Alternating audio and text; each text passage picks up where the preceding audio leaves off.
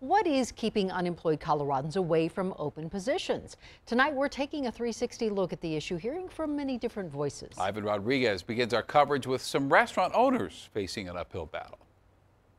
Inside Bigsby's Folly, they're preparing for another big rush of customers.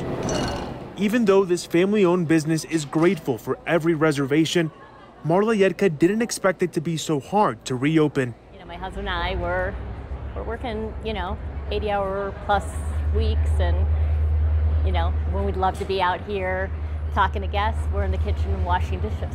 This problem has gotten worse since January, when they were able to reopen indoor dining at 25% capacity. In the last few months, since everyone's been vaccinated, we've really seen an increase in demand and we've actually had to shut it down. We've had to cut off reservations. Over in the Highlands, Bar Dough is seeing a similar hiring problem. A lot of people have decided to choose a different, maybe less volatile uh, market, or at least in this climate. Yetka says it can even be difficult to connect with job seekers. She says out of 20 job interviews she set up, half never showed up. We're, you know, up all night just worried about like how are we going to make it through, you know, the next service and you know, make sure everyone's taken care of. Making it harder for this family-owned business and so many others to truly open up and bounce back from an already difficult year. Ivan Rodriguez, Denver 7.